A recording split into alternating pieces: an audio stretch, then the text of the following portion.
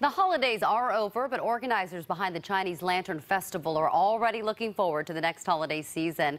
More than 100,000 people pass through the gates to attend the Chinese Lantern Festival.